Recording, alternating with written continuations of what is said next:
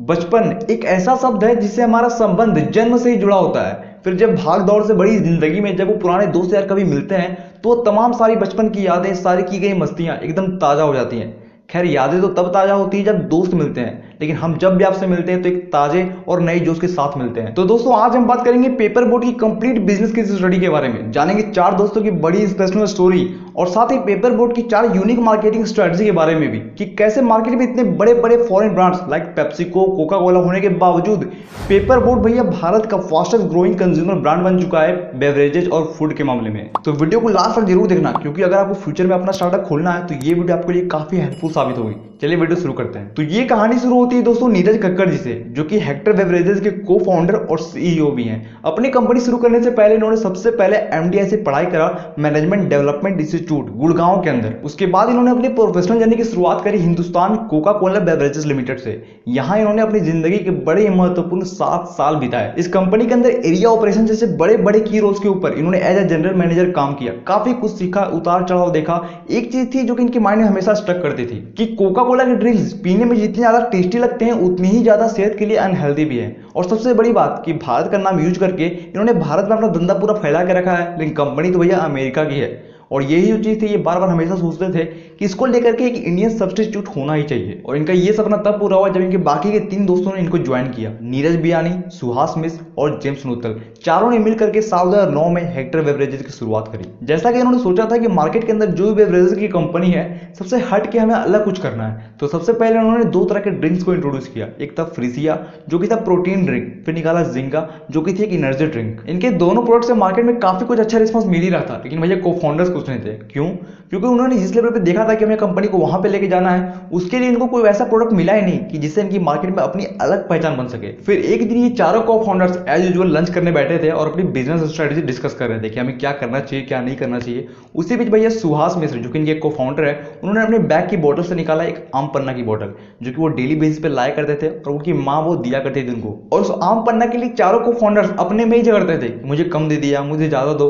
उसी बीच उन्होंने सोचा कि भैया ये जो आम पन्ना की जो प्रोडक्ट है, इससे हमारी बचपन की काफ़ी सारी यादें जुड़ी हुई हैं। लेकिन मार्केट में देखने जाओ तो ये ये सब प्रोडक्ट मिलते ही कहाँ हैं? मिला जुला के देखे तो कोक है पेप्सी है माजा है फ्रूटी है, यही सब है। रियल फ्रूट बेस्ड जूस कोई है ही नहीं। और अगर है भी तो एक आध ब्रांड ही है, जैसे कि एक रियल जूस आता है, वो भी मतलब लिमिटेड फ्लेवर्स के साथ। साथ ही शुगर का भी काफ़ी मात्रा में एडिशन होता है और प्रिजर्वेटिव्स भी डाले जाते हैं आर्टिफिशियल कलर्स होता है टेक्सचर होता है, काफ़ी कुछ भारी मात्रा में एडिशन होता है। और कोई तो ऑथेंटिसिटी भी नहीं है कि हमारे हेल्थ के लिए कैसा है। फिर दूसरी तरफ़ अनऑर्गेनाइज मार्केट को देखें तो वहाँ भी भैया ये जो जूसेस है, वो स्ट्रीट फ़ूड के जैसे ही मिलते हैं। मतलब कि कोई क्वालिटी नहीं, कोई हाइजीन नहीं और साथ ही साथ वहाँ भी ट्रस्ट का फैक्टर हमें काफ़ी ज़्यादा होता है। और तो और लिमिटेड जगह पर ही होते हैं, जहाँ पे जूसेस वगैरह आपको देखने को मिलते हैं। और यहीं पर उन्होंने देखा कि ऐसा कोई प्रोडक्ट तो मार्केट में एग्जिस्ट करता ही नहीं है, लेकिन वॉन्ट सबकी है।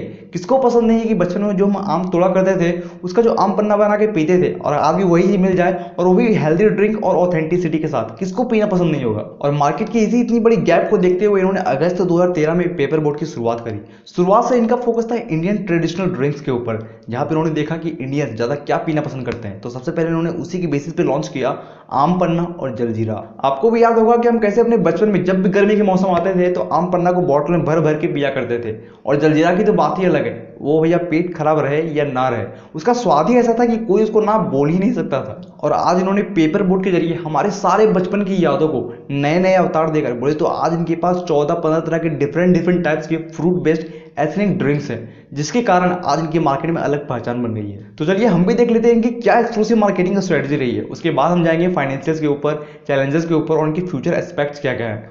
फ़र्स्ट पैथोस ब्रांडिंग आपको पता है पेपर बोट का नाम पेपर बोट ही क्यों रखा गया है? क्योंकि इनके प्रोडक्ट्स इनके कंज्यूमर्स ये आपस में एक दूसरे से रिलेट कर सकें। अब पेपर बोट नाम सुनते ही याद आता है कि हमारे बचपन में वो कागज़ की कश्ती, जिससे हम अपनी अमीरी जीते थे। मतलब कि बचपन में हमारे पास नाव हुआ करते थे। बाहर से पूरे खेल कूद के दौड़ भाग के घर आए और उसके बाद यहाँ हमें मिला आम पन्ना, गन्ने का रस, जलजीरा जैसे कई सारे हमारे ट्रेडिशनल ड्रिंक्स पर हमारे बचपन छूटने के साथ साथ हमारे वो सारे मस्तियाँ, सारे वो ट्रेडिशनल ड्रिंक्स सारी यादें में ही बनी रह गई। अब पेपर बोट की जो भी प्रोडक्ट्स है, वो है इंडियन ट्रेडिशनल ड्रिंक्स के ऊपर। तो इसीलिए उन्होंने नाम भी ऐसा रखा है ताकि जो भी पिए, वो अपनी बचपन को जिए। लाइक उन्होंने नॉस्टैल्जिया के ऊपर काम किया, जिससे लोग इमोशनली कनेक्ट हो गए। और इमोशनल का मतलब पैथेटिक तो पैथेटिक इनकी ब्रांडिंग वहीं से हुई। दूसरा bring loyalty from authenticity market के अंदर कई सारे ड्रिंकिंग प्रोडक्ट्स अवेलेबल थे, जिसमें से ज़्यादातर कार्बोनेटेड ड्रिंक्स ही थे। शुगर का भारी मात्रा में एडिशन था प्रिजर्वेटिव्स थे कलर्स थे आर्टिफिशियल वो भी। मतलब कि देखा जाए तो हेल्थ रिलेटेड कोई प्रोडक्ट था ही नहीं। और इसीलिए हमारे भारत के प्रधानमंत्री श्री नरेंद्र मोदी जी ने भी कोका कोला पेप्सिको को ये बात बोली थी कि अपने ड्रिंक्स के अंदर कम से कम दो परसेंट फ्रूट ऐड कीजिए। इससे क्या होगा कि हेल्दी ड्रिंक में भी याद जाएगा और साथ ही इससे फार्मर्स जो है, उनको भी काफ़ी ज़्यादा बेनिफिट होगा। लेकिन उनका तो पता नहीं, लेकिन पेपर बोट ने इस पूरे अनहेल्दी ड्रिंक्स के मार्केट को डिस्टर्ब कर दिया पेपर बोट से। आज इनके पास 12 से 14 तरह के different different pulp fruit ethnic drinks available हैं। जिसमें से आम रस, आम पन्ना, जलजीरा, लीची रस एप्पल संतरा, अनार, चिल्ली गुआवा और जामुन, काला खट्टा जैसे smart smart drinks healthy drinks और तो और डिलीशियस ड्रिंक्स है। अब ये बेवरेजेस के अंदर है तो इन्होंने क्या करा कि मिल्क से रिलेटेड बेवरेजेस भी इंट्रोड्यूस किया हुआ है। जैसे कि बटर मिल्क बादाम मिल्क ठंडई। इसके अलावा इन्होंने सीजनल ड्रिंक्स को भी इंट्रोड्यूस किया हुआ है, जिसको इस साल में एक दो बार ही निकालते हैं। जैसे कि भैया इंडिया के अंदर फेस्टिवल काफ़ी ज़्यादा आता है। तो इन्होंने क्या करा है कि इंडिया के अंदर जब भी रामनवमी आता है तो उस समय ये निकालते हैं पन्ना कम। फिर एक बार ईद आता है तो उसमें निकालते हैं शरबत एक खास। फिर साल दो हज़ार अठारह में इन्होंने अपना एक और निकाला था, जिसका नाम है कोकोनट वाटर अब ये बात हो गई बेवरेजेस की। इन्होंने क्या करा है कि जो इंडियन ट्रेडिशनल फूड्स होते हैं, उसको भी भैया अलग अवतार में इंट्रोड्यूस किया हुआ है। जैसे कि पीनट चिक्की बनाना चिप्स और आम पापड़, जैसे कई सारे प्रोडक्ट्स हैं। दोस्तों, मैं बता दूँ आपको कि आप इनके जो भी ड्रिंक्स पियोगे, आपको उसमें लगेगा ही नहीं कि मिलावट है भी या नहीं है, क्योंकि इनके जो भी फ्लेवर्स आते हैं, वो इतने ऑथेंटिक होते हैं। और तो और इनके प्रोडक्ट्स के अंदर कोई भी प्रिजर्वेटिव नहीं होता है, कोई आर्टिफिशियल कलर नहीं होता है। मतलब कि ज़्यादातर ये फ्रूट्स का ही एडिशन करते हैं अपने जूसेस के अंदर, जो कि मार्केट के अंदर और भी जो बड़े बड़े बेवरेजेस के ब्रांड है, उनके कंपेयर में काफ़ी हेल्दी ड्रिंक माना जाता है। अब भाई, आपको मिलेगा बचपन की याद हेल्दी ड्रिंक ऑथेंटिसिटी के साथ तो कौन नहीं पीना चाहेगा? थर्ड पैकेजिंग एंड डिस्ट्रीब्यूशन भैया मार्केट के अंदर इन्होंने पेपर बोर्ड को उतारा है, बड़ी स्मार्टली तरीके से उतारा है। क्योंकि भैया, नीरज बियानी हो चाहे नीरज कक्कर हो, इन दोनों ने भैया छः से सात साल कोका कोला कंपनी में काम किया हुआ है। अब मार्केट में जो भी बेवरेजेस मिलते थे, वो चाहे तो ग्लास के बोटल्स में प्लास्टिक के बोटल्स में, या फिर ज़्यादा ज़्यादा केन्स में आते थे तो इन्होंने क्या करा कि अपने पैकेजिंग को एकदम डिफ्रेंशिएट कर दिया। इन्होंने जो अपनी पैकेजिंग बनाई है, जो कि हेक्सागोनल टाइप से होती है, वो भैया एक ड्रॉय पैक बोलते हैं उसको, जो कि एक फ्लेक्सिबल सा पाउच होता है। मैं बता दूँ दोस्तों कि इन्होंने अपनी पैकेजिंग बनाने के लिए काफ़ी सारी इन्वेस्टमेंट और रिसर्च करी हुई है। और ये इनकी पैकेजिंग पाउच इतनी ज़्यादा एक्सक्लूसिव लगती है देखने में कि कहीं भी अगर सेल्फ पे रखा हुआ है, कोई काउंटर के अंदर तो आपको दूर से देखने लगेगा कि भैया कौन सा प्रोडक्ट आ गया मार्केट के अंदर, कैसा ये ड्रिंक है? मतलब कि आपको देखते ही साथ लगे कि इसको ट्राई ज़रूर करना चाहिए। अच्छा एक चीज़ इन्होंने और क्या यूनिक करा है कि अपना जो पाउच है, उसके बॉटम का अगर उसको पलटोगे तो वहाँ एक टेक्स्ट लिखा हो रहा था एक लाइन का, जो कि आपको काफ़ी ज़्यादा क्विरकी फील कराएगा। या इन्होंने क्लेवर मैसेजिंग के ऊपर काम किया। एक छोटा सा टेक्स्ट दे दिया एक लाइन का, जिसको जो भी इनके कंज्यूमर पढ़ेंगे, वो अंदर ही अंदर खुश हो जाएँगे इस फनी टेक्स्ट को पढ़कर आप गौर करना दोस्तों कि छोटे छोटे गेस्टर्स होते हैं अपने कस्टमर्स के लिए, वो आपको, आपके प्रोडक्ट को और आपके कस्टमर्स के रिलेशनशिप को बनाने में काफ़ी अहम भूमिका निभाते हैं। सो नेवर अंडर एस्टिमेटेड अब इनके जो भी पाउचेज के पैकेजिंग है, वो काफ़ी ज़्यादा कॉम्पैक्ट है। मतलब कि आप देखो तो सिर्फ़ पाउच आपको आराम से पकड़ जाएगा। आप एक बार हाथ से ही पाँच छह पाउच पकड़ सकते हो। तो वहाँ इन्होंने क्या काम किया है कि डिस्ट्रीब्यूशन और जो भी इनका ऑपरेशन मैनेजमेंट होता है, इससे इनको काफ़ी बेनिफिट होता है। मतलब कि अगर किसी डिस्ट्रीब्यूटर के पास, किसी शॉपकीपर के पास मर्चेंट के पास अगर माल भेजना है तो कम जगहों पर ज़्यादा माल भेज सकते हैं और चार्जेस भी कम लगेंगे। और तो और दुकानदार के लिए भी बेनिफिट है कि कम जगहों पर वो ज़्यादा माल भर सकते हैं। आज इनका परचेज पूरी अक्रॉस द इंडिया अढ़ाई लाख से ज़्यादा रिटेल आउटलेट्स के ऊपर मिल जाएगा। साथ ही पेपर बोर्ड आपको एयरलाइंस के ऊपर एयरपोर्ट्स के ऊपर भी अवेलेबल मिल जाएगा, जहाँ इन्होंने अगेन प्राइसिंग स्ट्रेटजी के ऊपर खेला है। लेकिन ये प्राइसिंग स्ट्रेटजी कैसे? तो यहाँ इन्होंने क्या करा है कि यहाँ अगर आप नॉर्मल आउटलेट पे जाओगे तो वहाँ तो आपको पेपर बोट का जो प्राइस है, वो नॉर्मल ही लगेगा।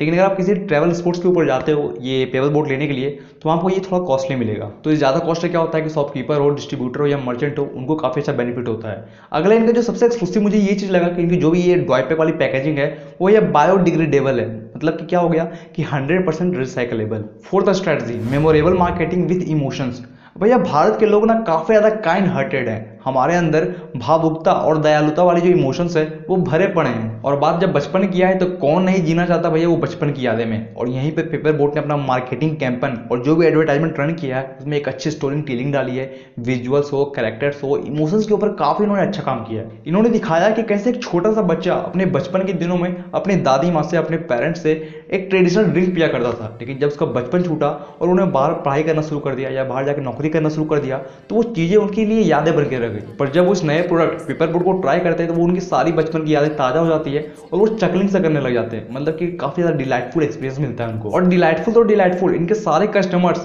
पेपर बोर्ड के प्रोडक्ट सर्विसेज़ से काफ़ी ज़्यादा सेटिस्फाइड भी रहते हैं। क्यों? क्योंकि भाई ये जो पेपर बोर्ड के जो कस्टमर केयर एग्जीक्यूटिव है या फिर कस्टमर केयर जो का सर्विस है, वो एवरी पॉसिबल टाइम अवेलेबल रहता है अपने कस्टमर्स के फीडबैक सुनने के लिए और उनकी कंप्लेंट सुनने के लिए। अब कंपनी के फाइनेंशियल के ऊपर आए तो आज तक पेपर बोर्ड ने 103.5 मिलियन डॉलर की फंडिंग रेज किया हुआ है, जिसमें से जो मेजर इन्वेस्टर्स है, वो ये सिकोवा कैपिटल है और तो और इन्फोसिस के जो एन नारायण मूर्ति है, उन्होंने भी इस कंपनी के अंदर इन्वेस्ट किया हुआ है। ग्रोथ की भी बात करें तो कंपनी लगातार ग्रो ही कर रही है। फाइनेंशियल ट्वेंटी में इनका जो टोटल रेवेन्यू था, वो था सिक्सटी करोड़ का। फिर फाइनेंशियल 2018 की बात करें तो वहाँ इनका रेवेन्यू पहुँच चुका था 118 करोड़ का। फिर 2019 की बात करें तो वहाँ इनका रेवेन्यू हो गया था 190 करोड़। फिर फाइनेंशियल ईयर 2020 की बात करें तो वहाँ इनका रेवेन्यू हो चुका था 235 करोड़। लेकिन दोस्तों, मैं बता दूँ आपको कि ये कंपनी अभी तक प्रॉफिटेबल नहीं हुई है, क्योंकि कंपनी ने अभी हाल में लॉस रिपोर्ट किया हुआ है फाइनेंशियल 2019 में, जहाँ का जो टोटल लॉस था वो था 60 करोड़ का। लेकिन फाइनेंशियल 2020 की बात करें तो इनका लॉस और भी बढ़ गया था, जो कि 100 करोड़ के अराउंड और मुझे जो मेजरली इसमें अफेक्ट लगता है वो कोविड का लगता है। बाकी के जो टीवी एडवर्टाइजमेंट होते हैं ऑनलाइन मीडिया मार्केटिंग होता है और साथ ही साथ इनके जो भी जो नए नए प्रोडक्ट्स निकालते हैं, उसके लिए रिसर्च सेंटर बैठता है। काफ़ी ज़्यादा प्रोसीजर लगता है तो उसमें भी काफ़ी अच्छे खर्च कर रहे हैं। जहाँ पे इनका जो ज़्यादातर लॉस निकल रहा है, वो वहीं से निकल रहा है। कंपनी के को फाउंडर का कहना है कि इस सेक्टर के अंदर डिस्ट्रीब्यूशन चैनल को स्ट्रॉन्ग बनाना, मज़बूत बनाना अपने आप में काफ़ी बड़ा चैलेंजिंग टास्क है और अपने आप में काफ़ी बड़ी जीत भी है। हालाँकि आज के टाइम पे देखा जाए तो कई सारे ई कॉमर्स प्लेयर्स अवेलेबल हैं। लेकिन अगर आपको लॉन्ग टर्म में गेम खेलना है तो आपके पास एक अपना डिस्ट्रीब्यूशन चैनल स्ट्रॉन्ग होना चाहिए। और इनका फ्यूचर मिशन भी यही है कि हमारी कंपनी को और भी हमें ज़्यादा बूस्ट करना है, अपने डिस्ट्रीब्यूशन चैनल को और स्ट्रॉन्ग करना है। और इनका जो फाइनल गोल है, वो है कि हमें आईपीओ तक जाना है, बोले तो प्रॉफिटेबिलिटी की तरफ़। तो दोस्तों, ये तो देखने वाली बात होगी कि आने वाले टाइम में ये पेपर बोर्ड कैसे अपने आप को इस कॉम्पिटेटिव मार्केट में और भी ज़्यादा निखार पाता है और कैसे अपने प्रॉफिटेबिलिटी की तरफ़ जा पाता है। बहरहाल दोस्तों, मैं ऐसा करता हूँ कि आज की बिज़नेस केस स्टडी आपके लिए काफ़ी ज़्यादा इंसाइटफुल रही होगी। आपने काफ़ी कुछ देखा होगा, काफ़ी लेसन सीखे होंगे इनके मार्केटिंग स्ट्रेटेजी से अगर वीडियो पसंद आया और इंसाइटफुल लगा है तो जल्दी से वीडियो को लाइक करो चैनल को सब्सक्राइब करो और बगल में जो बेल नोटिफिकेशन का आइकन है, उसको भी प्रेस करके रखना ताकि इस तरह की नॉलेजफुल वीडियो की नोटिफिकेशन आप तक सबसे पहले पहुँच सके। और बिज़नेस या पूरी स्टार्टअप वर्ल्ड से रिलेटेड आपकी कोई भी क्वेरी है तो नीचे कमेंट में डालो, मैं कोशिश करूँगा वहाँ आपको रिप्लाई करने की। मिलते दोस्तों इसी तरह के नेक्स्ट और पावरफुल इंसाइटफुल वीडियो के साथ, तब तक के लिए आप खुश रहिए, संतुष्ट रहिए तंदुरुस्त रहिए। गुड बाय जय हिंद